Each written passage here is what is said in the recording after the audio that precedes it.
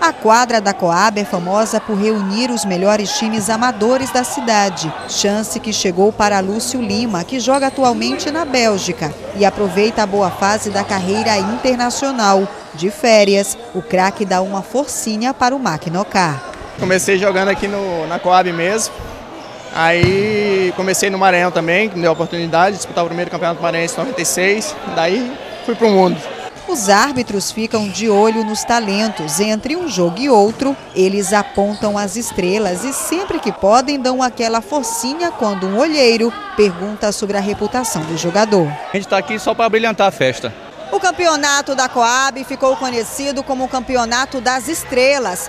Todos os anos passam por aqui centenas de atletas que observam no esporte uma oportunidade de crescer na vida e conseguir alcançar os objetivos.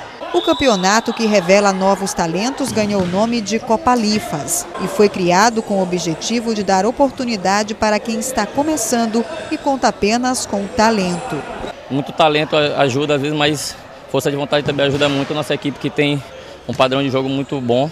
Talento que está levando o time do Internacional longe. No último jogo, a equipe levou a melhor contra o 14 Futsal Clube. O adversário perdeu de goleada por um placar de 5 a 1. Hoje, graças a Deus, conseguimos sair na frente, depois ampliamos o placar e terminou tudo bem.